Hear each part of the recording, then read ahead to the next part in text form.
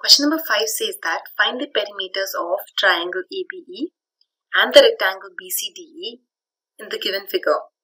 And we have to find out whose perimeter is greater. So we see that in the given figure we have been given with the side lengths of the triangle ABE and we've also been given with the side lengths of the rectangle BCDE.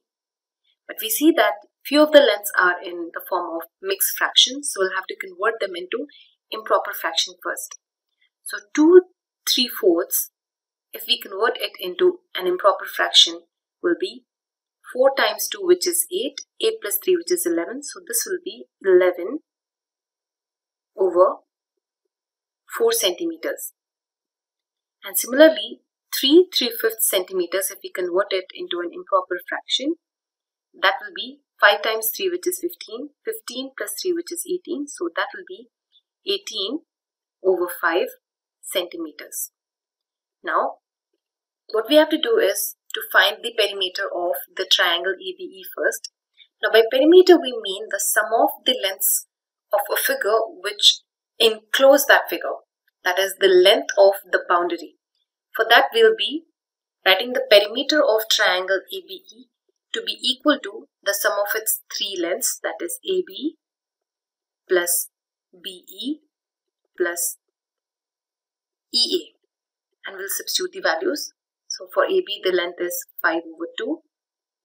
For BE it is 11 over 4 and for EA it's 18 over 5. You see that these are unlike fractions because the denominators for all three of them is different. So we'll have to convert them into like fractions. The LCM for 2, 4 and 5 is 20. So what we'll have to do is to make the denominators for all of them as 20. To make the denominator for the first fraction as 20, we'll have to multiply the numerator and denominator with 10. So we get it as 50 over 20. For the second fraction, to make the denominator as 20, we'll multiply the numerator and denominator with 5. So we get it as 55 over 20. And for the third fraction, which is 18 over 5, to make the denominator as 20 will multiply the numerator and denominator with 4. So we'll get it as 18 times 4 divided by 5 times 4. So that gives us 72 by 20. Now that we have got the denominators same for all of them, we can just simply add the numerators. So adding 50, 55 and 72 gives us 177 over 20 centimeters as the perimeter for the triangle ABE. Now the next part is to find the perimeter of the rectangle BCDE. The formula to find the perimeter of a rectangle is 2 times length plus breadth. So the length of the rectangle BCDE is BE whose value is 11 over 4 and the width is 7 over 6 as given in the figure. So we'll just add these two.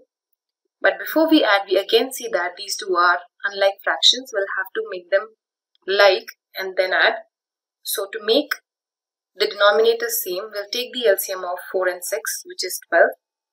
To make the denominator of the first fraction, that is 11 over 4 as 12, we'll multiply the numerator and denominator with 3 and so we'll get it as 33 by 12 and to make the denominator for 7 over 6 as 12 will multiply the numerator and denominator with 2 so that will give us 14 over 12 so we add 33 and 14 and divide it by 12 so 2 ones are 2 2 6 are 12 and that gives us the perimeter of the rectangle BCDE as 47 over 6 centimeters so now what we have to do is we have to compare the two perimeters that is 177 over 20 and 47 over 6 and find out which is greater and which is smaller.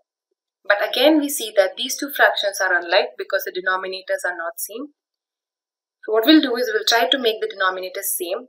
So for the first fraction we'll multiply the numerator and denominator with 3 that is 177 times 3 divided by 20 times 3 and that gives us the fraction as 531 divided by 60.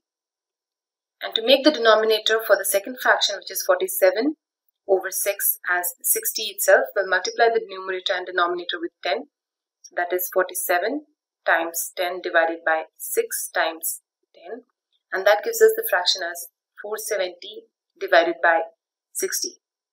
As we know that 531 is greater than 470, we can clearly say that 531 by 60 is greater than 470 by 60. So the perimeter for the triangle ABE is greater than the perimeter of rectangle BCDE. So here we write that triangle ABE and BCDE. The perimeter for triangle ABE is greater than the rectangle one. And this is how we solve this problem.